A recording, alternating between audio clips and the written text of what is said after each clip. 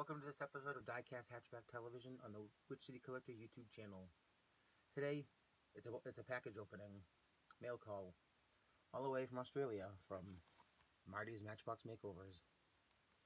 About a month ago, he commemorated the Battle of Britain by, by restoring a fleet of Spitfires. He did a giveaway. There were three winners. I was lucky enough to be one of them. I was also I also was told one went to England and one went to Canada. So without any further ado, let's crack. Let's uh, get open the pa let's get the package open. Hide my hide my address. No one needs to know that unless you actually want to send me something.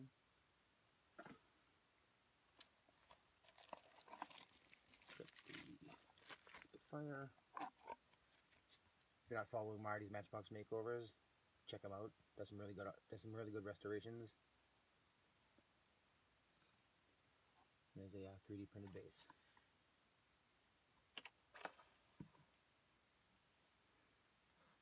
Get the packaging out of here.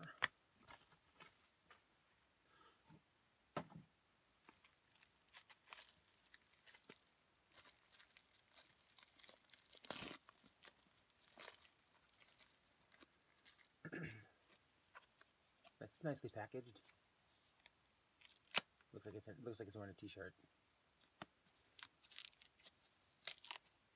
This was hand done camouflage.